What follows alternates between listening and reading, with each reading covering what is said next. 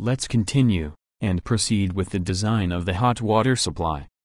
So, we were having a look at the solution for the cold water network, and we concluded that Revit has found indeed a very adequate design, since for example it doesn't interfere with the sanitary network.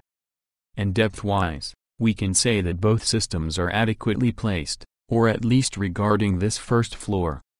Nevertheless, it's true that if we moved this whole installation to the subsequent floors, namely, between the ceiling and the slab, we'll have to perform some modifications in order to avoid interferences with either the ceiling, or some other type of installations below the slab. So, let's have a look at the possible solutions for this network. Although let's not forget to configure some settings first.